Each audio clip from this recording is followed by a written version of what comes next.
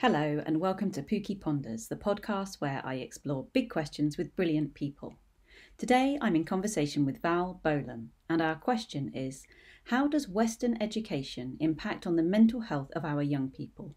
Could it be time for change? Okay, um, my name is Val Bolam. I am a specialist uh, teaching assistant. I work in um, a special needs high school um, with students with challenging behaviours and on the autistic spectrum. I love my job, love my job. Um, I work with a fantastic team. My background, however, was in my training was in social care. Yeah. So that's where I came from. But my interest was was always towards um, special needs, always. Um, and, and, and I even at college, that was the module I loved. It was the placement I loved the most. So I kind of knew really that it was going to go in that direction at some point. Um, after taking a step out, career, blah, blah, blah, having children, getting married, doing all that malarkey, um, I uh, went back to work and that was when I hit education. So that was about, I don't know, 11 or 12 years ago, something like that. And um, and I went straight into working with children on the SEN register in a mainstream high school. So I've supported in mainstream, I've supported in special schools, and I've supported right the way through from uh, nursery age right through to um, sixth form. And recently, I had a few months working in a college, which was a whole other ball game, and it was just as interesting. It was really good. Um, I am intensely passionate about the students that I work with and that they are understood. That's that's my that's my that's my main thing. And I had the privilege of working when I very first went into education with a fantastic SENCO and she gave me the most amazing advice as a teaching assistant. She just said, You're neither teacher nor friend, you're the middle road and you're a bit of both. And you know, you're reflecting both sides to each other. In mainstream, absolutely. In special school setting, it's slightly different. Um, you are more, you're just staff, simple as. Um, and I love it. I just love it. So yes, so I, I, you know, here I am talking to you. and thank you. And and actually, I think um, you know I, I, I can't not uh, say thank you to you for the input that you've had over the last few months, and and uh, you've you've come to uh, more than one of our courses and uh, taken the stage when I've handed the mic over and really helped people with really practical ideas about how we can support children at this sort of really challenging juncture. And I, I love your practical approach and how down to earth it is. And so many people have benefited from the uh, the ideas and resources that you've put together. really um, so thank you. So, but today we come with a really big and deep and gnarly question. Um, so the question of the episode was, how does Western education impact on the mental health of our young people, and could it be time for a change? So, why this question? What what why did this kind of come up for for you? This was you that that put this question forward. It was me and me and my big mouth. Um, I um was uh, I was I was doing a course online during lockdown um, about mental health awareness with young people and young adults. And it was it was a question that was posed as one of the modules. It was an assignment that was that was to to be done. So it was to watch these two small video clips and answer this question based on what thoughts had been provoked from mm-hmm. watching the videos. And it just it, it woke up a whole thing in me that i think has been dormant for some time um, you know, big questions. It's all well and good having big questions, but you know, how on earth do we make big changes? And that's a that's a challenge. And I think over the years, you kind of you put those things aside. You think, right, okay, this is my bit. I can do my bit. Um, but it sort of all came tumbling out, to be honest, and it all came out in an essay. And then I just thought, I want to do something with this, but I don't know where to start. Um, and as I'd got to know you a little bit, um, I thought you might be able to give me an idea as to where I could maybe discuss this or send it. And um, here we are discussing it. Yeah. Indeed and and tell me i mean what so what was your your kind of take on this? Because obviously you've worked with um you know children and young people who perhaps have been more impacted hence they've ended up sort of working with yourself and on the SEN register or with with kind of known mental health issues. Mm. so i'm guessing you're going to say yes it has an impact but yeah you know don't let me put words in your mouth let me know what what, what did you say in your essay I am. Um, basically, the the two videos are fascinating, by the way, and that absolutely, I think they're a really good watch. Um, and they they both look at it slightly differently. The first one is called "Playing the Game of Life," and it's a, it's a talk that was given by a guy called Alan Watts, who's a British philosopher. And the video has been put to his talk later, and it it, it kind of rolls into the question of we're always looking for the next thing and our education system and the way that we that, that we train our children and we raise our children and even into adulthood we're always looking for the next thing. So every step that we take is just preparation for what's next. So we never get that feeling of getting there. We never kind of feel like we achieve anything in lots of ways. Mm-hmm. and i think that can be incredibly damaging yeah. to to young people to young children in particular and i think when that rot sets in early on which i think it does in more children than i think we would like to admit if i'm honest um, then i think when that sets in young you are at the thin end of the wedge then and then you know you're dealing with self-esteem issues you're dealing with with ideas of of not being able to achieve of of never feeling like it's worth it because you're never going to get there. Um, and i see a lot of that with um, in in the older children that I've, the older students that i've worked with where they're completely disaffected. What's the point? What's the point? You know what what what's the point in this? What's the point in that? Um, so he was he was very much looking at it from that point of view. The second one was was was really ah, mind blowing.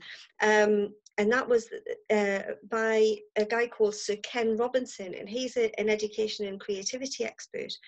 And again, it was a it, it was a video that was put to a talk that he had done some years ago. But the way that they did it was done by the RSA, the Royal Society for Encouragement of Arts and whatever. And they there was a guy he, he kind of he illustrates the talk as it's being given and it's fabulous. It's i'm very visual. I'm, I'm you know i like to see things. So for me it was it was fabulously thought provoking and he came at this from the idea of that, that our education system our current education system was kind of founded um, during the, the time of, of, of what's known as I've come to understand as the time of enlightenment and the industrial revolution. And it it was it was necessary at the time and it was founded on the whole factory system. So even the way that we run our school day so we go in and then there's a bell for break and then we all go off for break and we have our little break and then we come back and we carry on working again. Um, and he also challenges the idea that how we group children together. Um, why do we group them by age why don't we group them by ability? Why don't we group them by need? Why don't we group them by, you know, preference of learning style? Why why do we particularly think that every child is going to be at the same stage of development following their just their you know their age? So it it it threw up so many questions for me and I think for me in this current climate with um, the whole COVID situation that we're in, we have an opportunity to really stand back and examine what we do. Um, and also, the essay kind of took me in the direction of thinking about how we value or don't value various terms of various forms of intelligence. So we look at um, intellectual academic intelligence and that our whole school system is about academic intelligence and there are so many other forms of intelligence and I kind of wrote a little story in the essay about, you know, a guy who, um, and I've seen this in school myself, especially in mainstream. I have seen this where, you know, you've got your students who are um, studying BTEC, they're following a BTEC yeah. uh, format of learning. And then you've got your GCSE students, they are following that. The subject matter is the same, the outcomes are the same, the learning's the same. How it's taught is different, how it's recorded is different, how it's assimilated is different, how it's assessed is different. But the knowledge is the same. And yet we don't see photographs on the front of a newspaper of our BTEC students jumping up and down when they get their certificates. And I'm not by any means, um, you know, minimizing the importance of academic intelligence. I think there is, you know, it, all forms of intelligence, in my opinion, should be celebrated. And I think where I've seen this polarization in schools, there's often um, a superior kind of um, air around your GCSE student cohort, and it's almost like they're just the BTEC students, you know, and it, it's that attitude.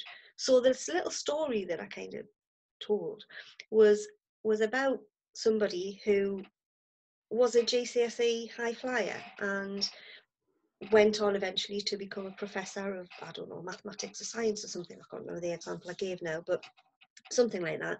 And um, but he absolutely loved the theatre. And he, you know, was often the first on his feet to applaud and yeah, yeah, yeah, bravo, bravo.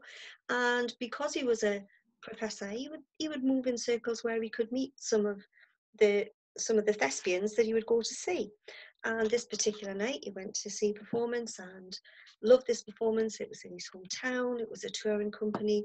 He met the lead guy, and the lead guy went over and nice to meet you, blah, blah, blah. You don't remember me, do you?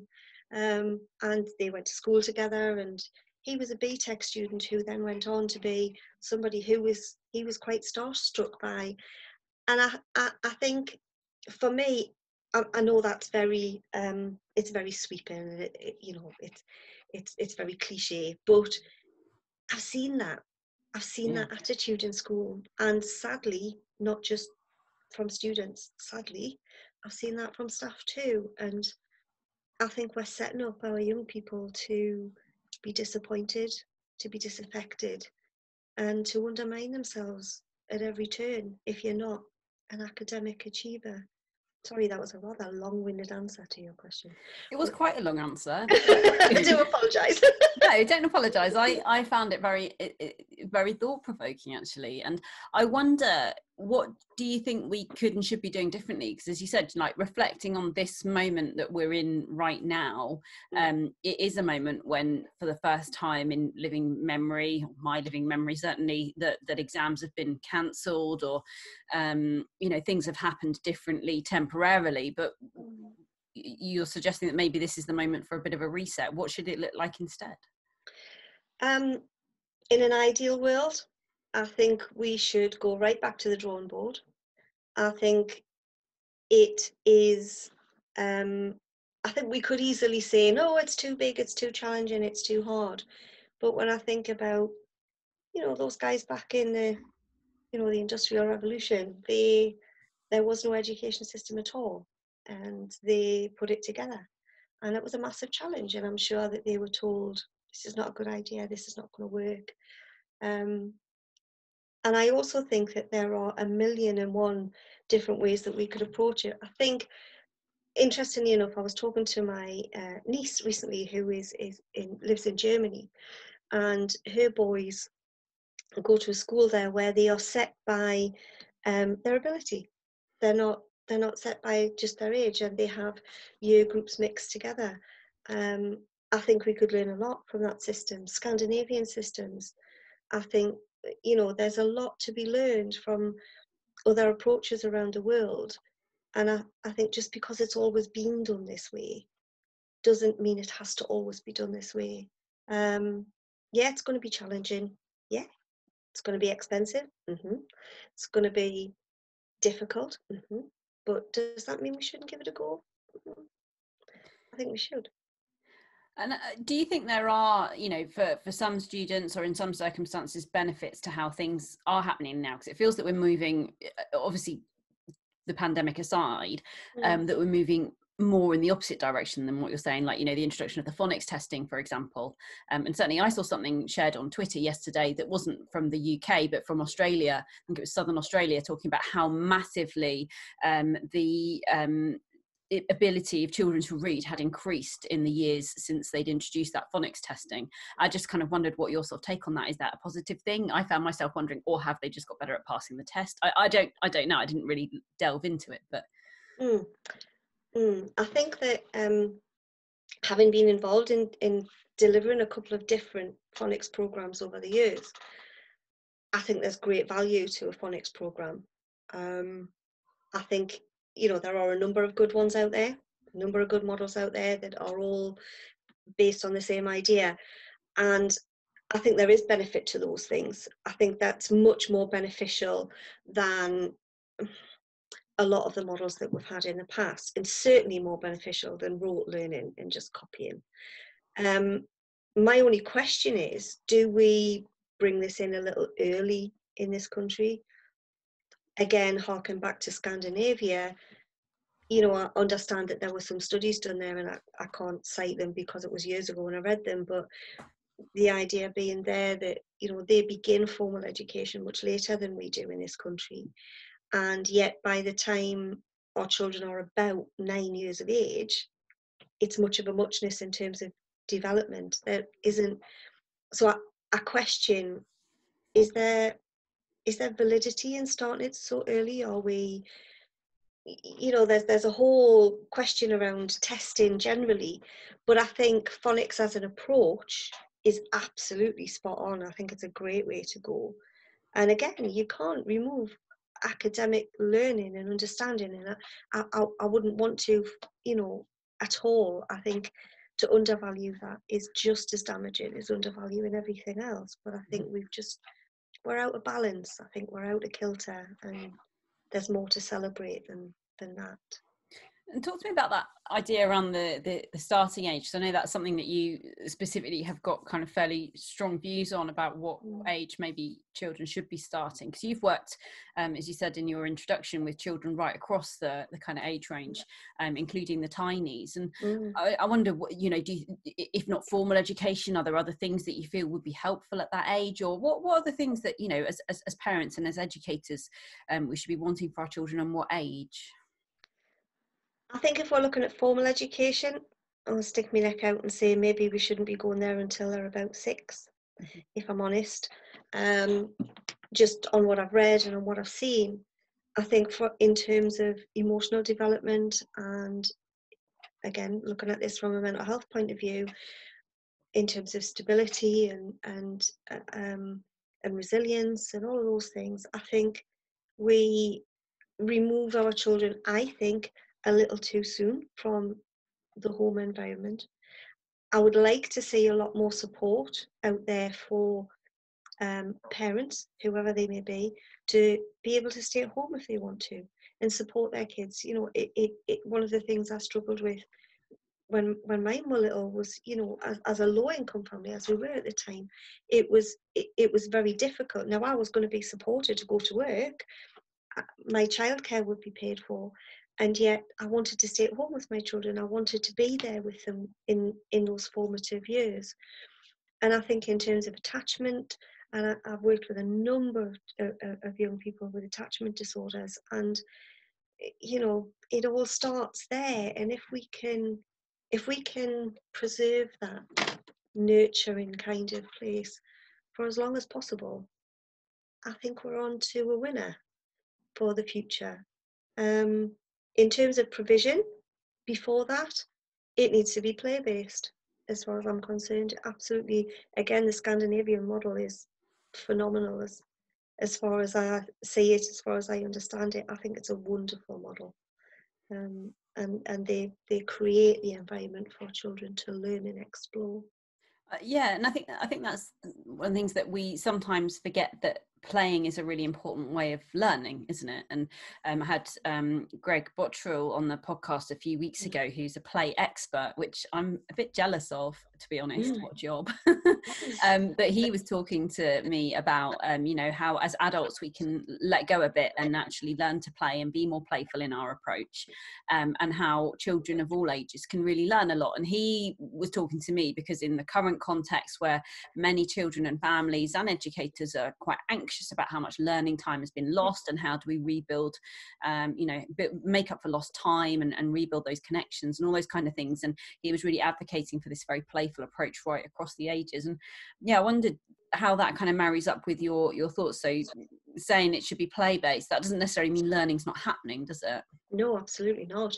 In fact i think quite the opposite. I think i think in that environment i think more learning takes place because if we if we create an environment where where our children are relaxed and they're they're comfortable and they feel safe and they feel understood and they feel nurtured. Um, and it's a warm welcoming environment um, to pinch one of your phrases. Then i think you know that that enables learning. That enables learning. And um, and i think that's i think that's the same right the way through.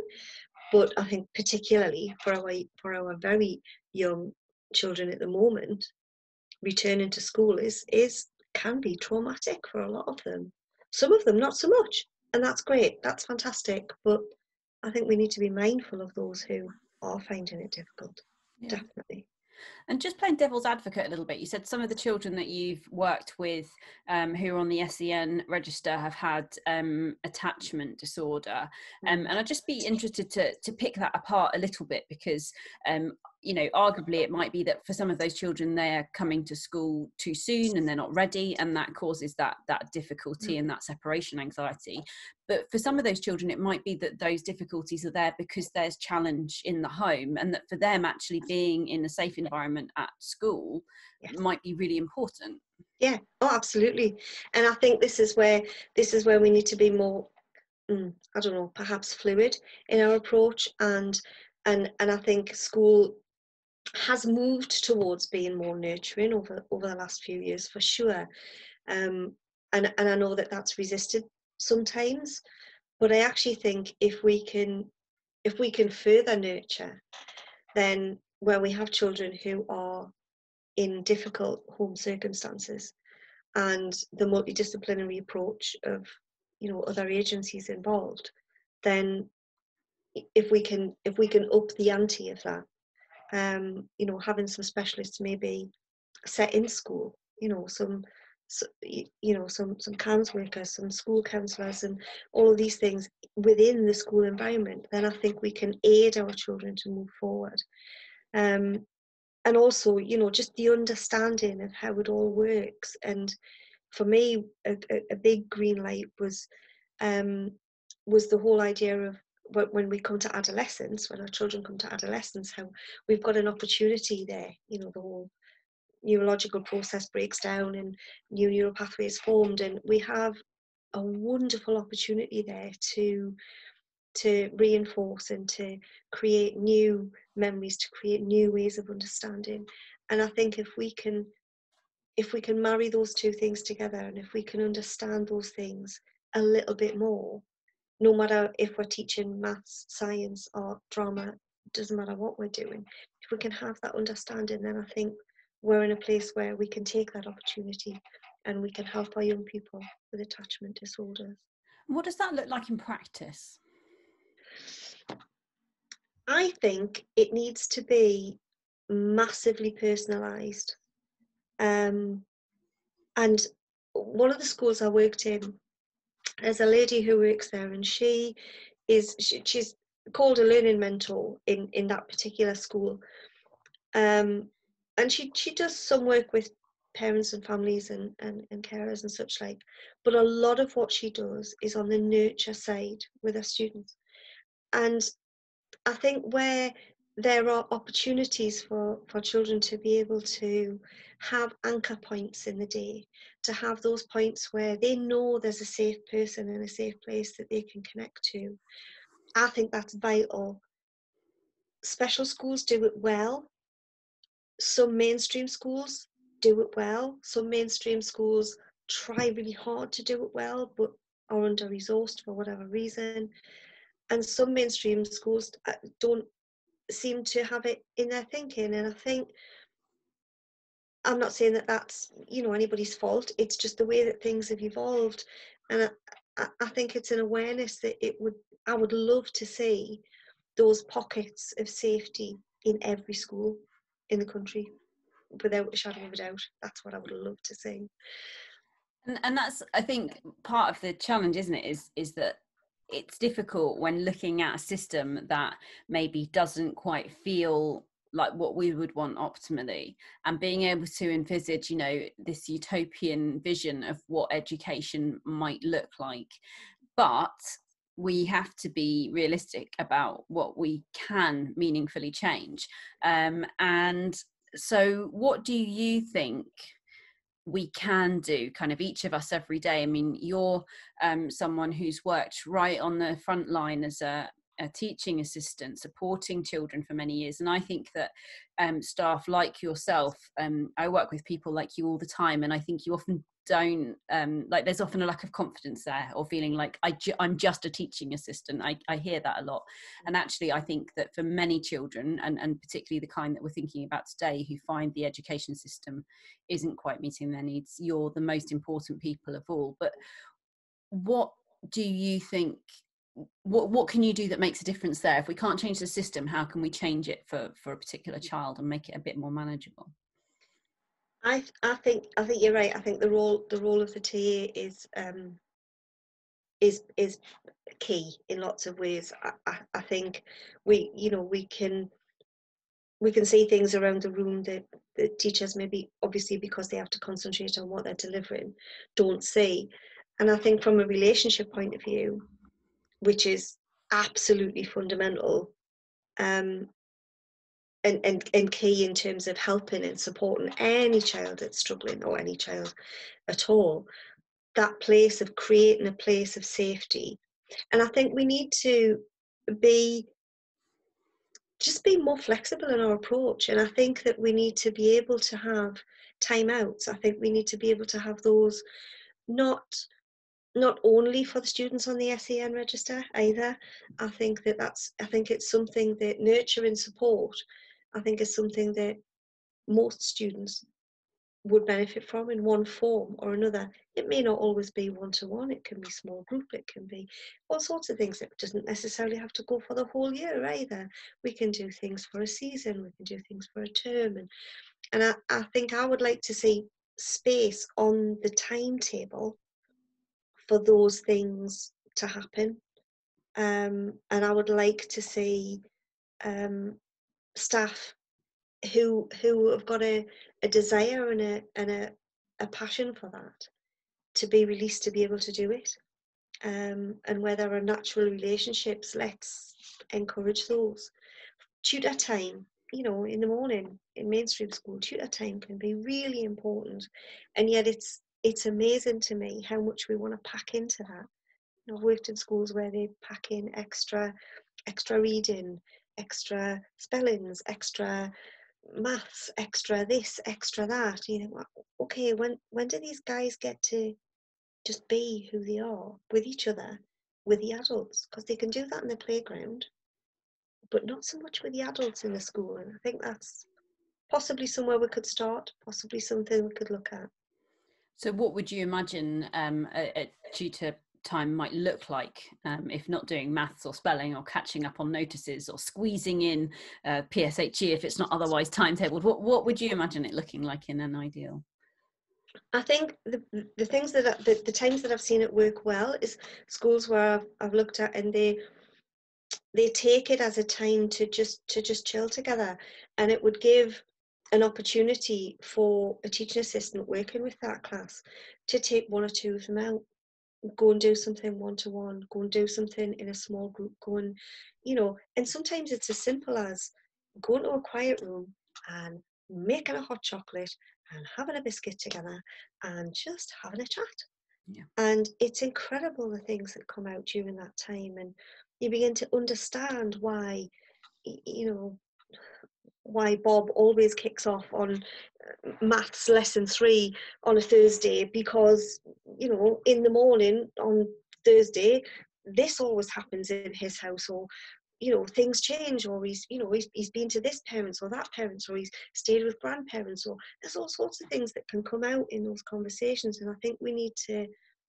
i don't think actually we need to create the space. I think we just need to acknowledge where the spaces are that we could use already in our timetable so it sounds a little bit like you're saying that rather than kind of cramming full every moment, it's about almost allowing a bit of a time to to kind of breathe and, and reflect and uh, just slow the pace down a little bit and just be. Absolutely. And how can we do that when there's so many pressures on the school day? Because I guess presumably the reason why spellings, maths, whatever is being squeezed in there is just because there literally aren't enough hours in the day, um, and particularly like now when so much time has been lost there has been time lost. I do agree. There has been time lost. I I just question what's more important. Um, I think our learning can be caught. It, it can be caught up. Okay, if we let's say we all miss a year, hmm, will the sky fall? No. If we have our GCSEs a year later than perhaps we would have done normally, will the world come to an end? No. But if we cram everything and make this more pressured already, then are we setting ourselves up for even further mental health issues down the road? And I think we are if we don't just take a breath and use some of those times in the day when we can allow our young people to do that.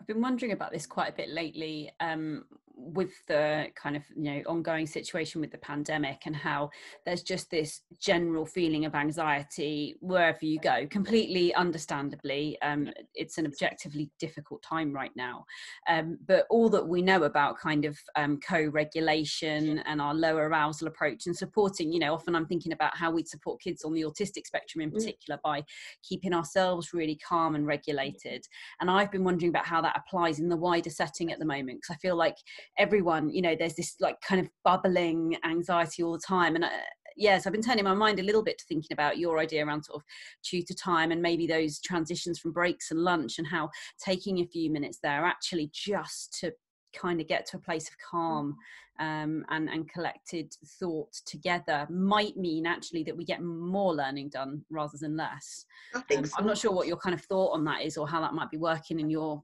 current setting um, better at that often in special schools no?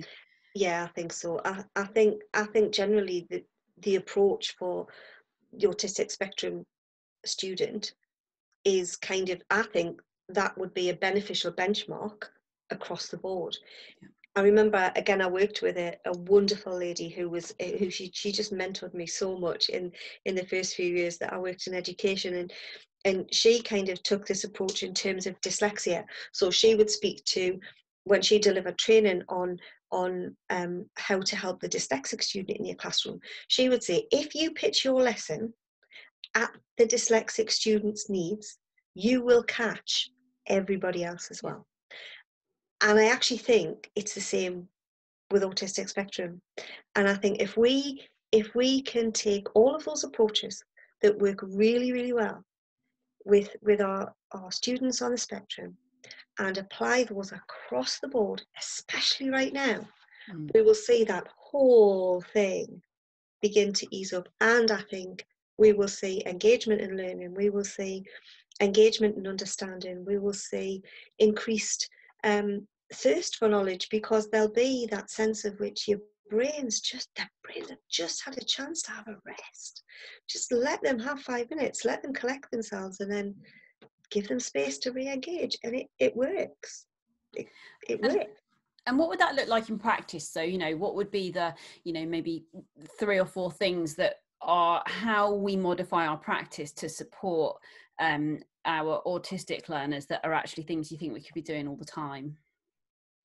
I think the whole um, the whole swan approach that you talked about in, in, in the course that you did i think that it, it has to be we have to look at those things as being the most important things that we do at the beginning of every day and after lunch.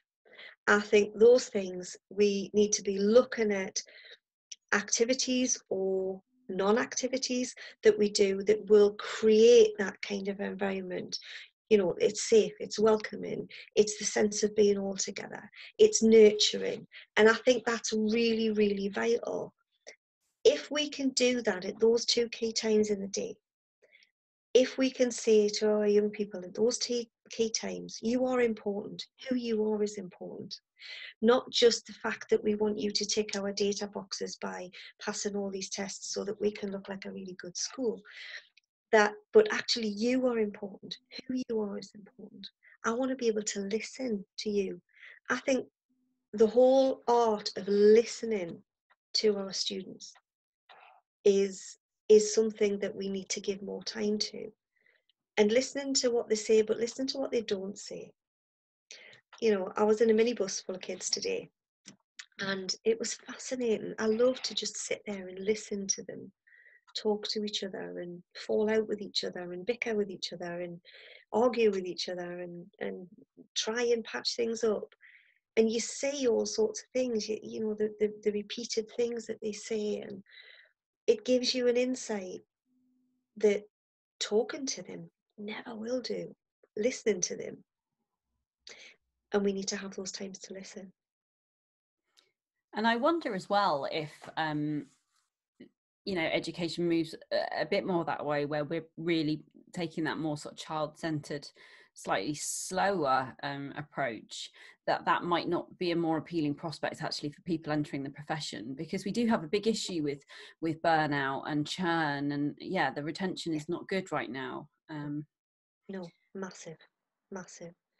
And I also think, you know, it's it it's a and and then again, you know, is that a reflection of of the state of the mental health of the nation nation as well? Mm. Of you know that you've got people who who have studied really hard and wanted to go into teaching and done a year, done a couple of years, and thought, can't do this. I, am out.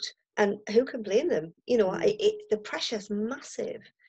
Um, and I think that could be a reflection of some of those things as well. And where we've got people cracking right, left, and centre, where we've got children cracking right, left, and centre, where we've got staff cracking right, left, and centre, where we, like you say, we're having a take up that is lower than I think it's ever been.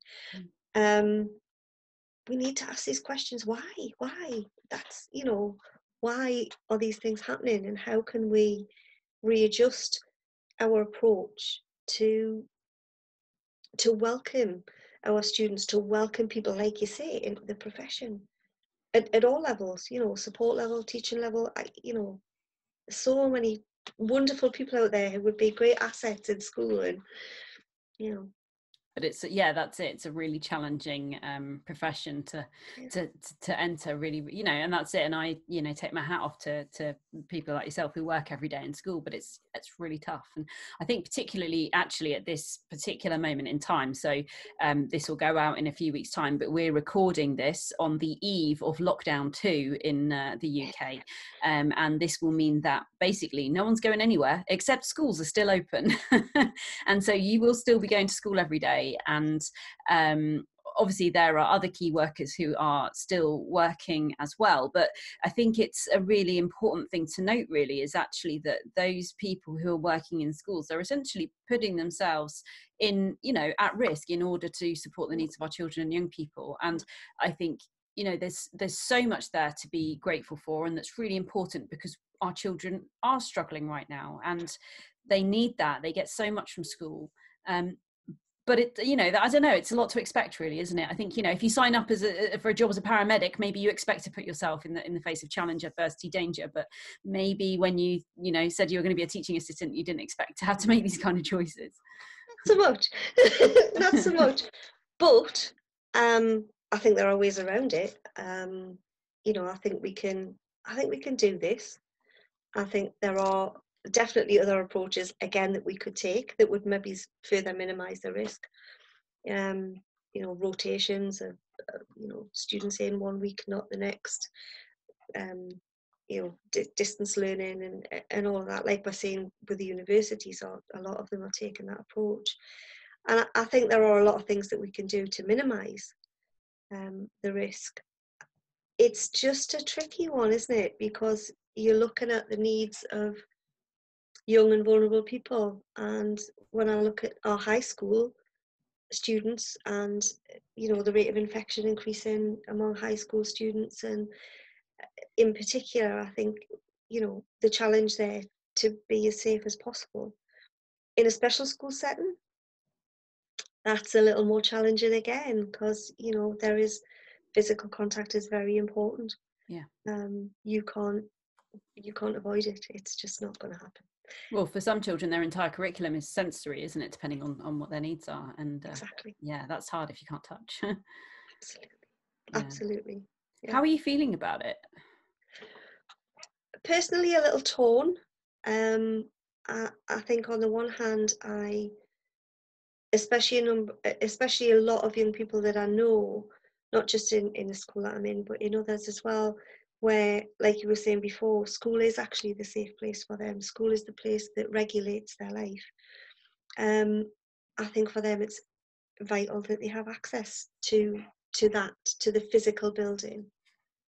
I think that we could easily create safer ways of doing things. Um, I think the technology is there for us to do it safer, to, to create safer approaches. And I think that we could certainly, I love the idea of the rotation system where, you know, I know some of the sixth form colleges in, in the country have, have taken yeah. that approach in particular. And I think that is going to work well. I think that that could work very, very well because then they're in for a patch of time. And I also think in terms of um, you know, if you if you if you're doing an online lesson in a virtual classroom, then attendance is required. Just the same as hmm.